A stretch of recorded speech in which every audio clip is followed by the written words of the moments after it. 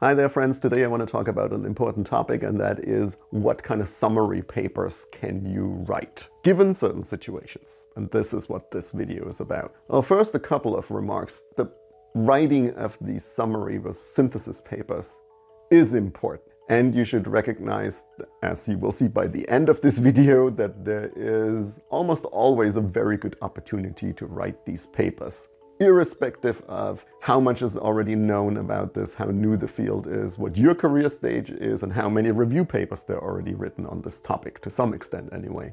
And the reason this is so important is that there is an ever increasing flood of information. There are more and more papers produced all the time on any given topic, and so therefore these summary papers that synthesize information and make sense of all the flood of information, I mean, it's clear why they are becoming more and more important and why they're also really valuable to a lot of people, from people that start in a certain field to established researchers that want to just learn about something and not read a hundred papers, and also to policymakers and people that um, apply this knowledge. What's also important to realize, and I stumble across this hurdle basically in people's minds all the time is like you can write such a synthesis paper or a review paper, um, a summary paper, if you will. Even if you're an early career researcher, you don't need to be somebody who is a senior researcher with decades of experience.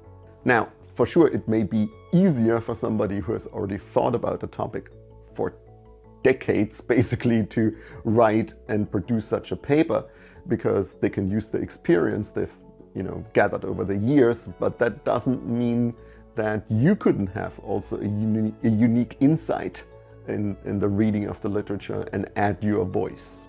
And you can. So explicitly if you're an early career researcher for example if you're a phd student you can be writing one of these papers, for example, as part of your PhD thesis if this is allowed in your program. So I'm gonna cover five different situations in terms of how much information is published and how much literature synthesis has already happened. And the first situation is, incidentally, one of my favorite ones. It's a new field.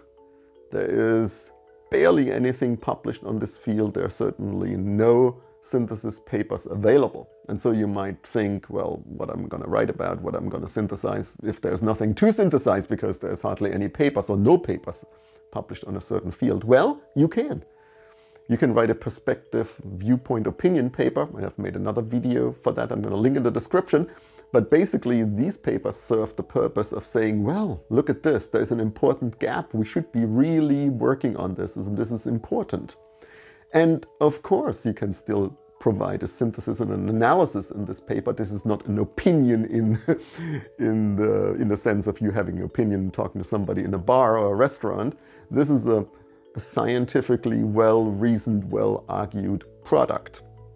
For example, where you transfer information from comparable fields or situations or topics or theories, and you make them applicable to the topic at hand.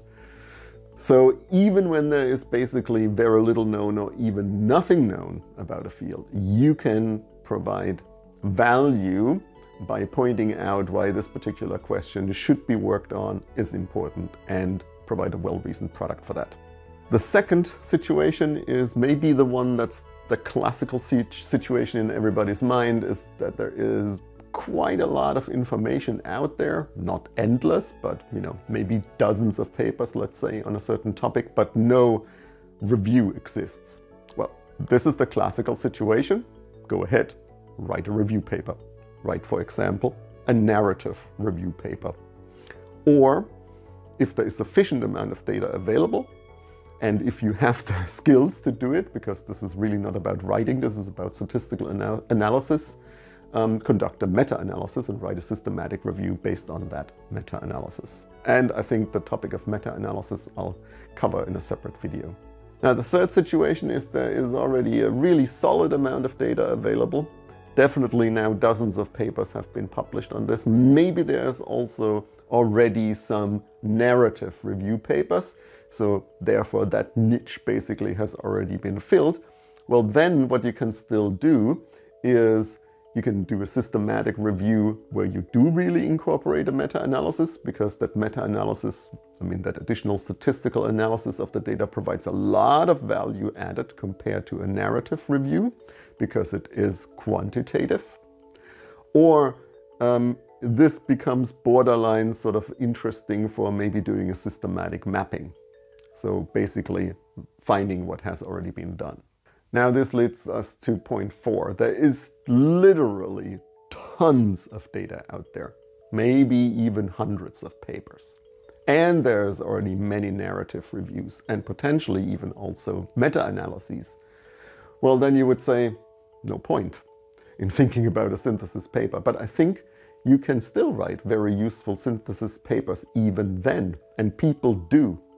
And what you can do is when you are providing an overview over a very broad field when there is tons of data basically applicable, you can do a systematic mapping exercise, which is you look, you query basically all your papers that meet your search criteria and you order them according to certain principles. So you can basically provide a landscape of the research that has been done, what has already been worked on, also with what intensity and how many papers have been published with what ecosystem type and what method and so on and so forth. So this is more like a broad stroke overview of what has already been achieved. And what you can also do, you can write a review of reviews. These are highly valuable because you pull together reviewed information from a variety of different reviews. And you can basically do the same when there's already a ton of meta-analyses, you know, maybe there is already a hundred meta-analyses in this broader area. This is obviously most likely not going to be in a very narrow area, but a broader area. And then you can do what's called a second order meta-analysis. So you can basically pull in all the meta-analyzed data from these other analyses and make a um, new meta-analysis based on these data. So even when there is well, when your scope of the literature that you're looking at is extremely broad, it's basically impossible to provide a narrative review. You can still do all these things to provide value. And the value here really clearly is to provide a broad stroke overview of what has been done and maybe also what has been found. But sometimes only what has been done. And one, one other aspect that comes into play here with this very large number of studies to potentially process is a bibliometric analysis.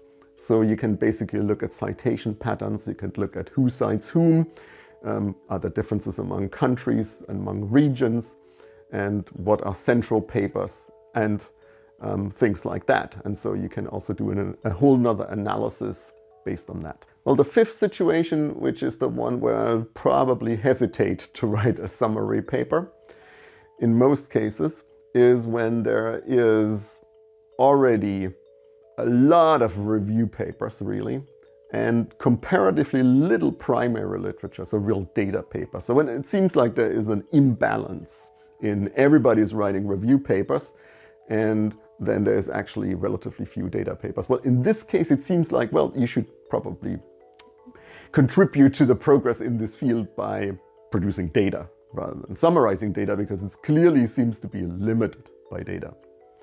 But you could even write a little note or a comment um, or an opinion paper where you say we really should focus on you know, providing primary um, data on this particular point because we don't have any or we have too little and this is such an important area because of such and such.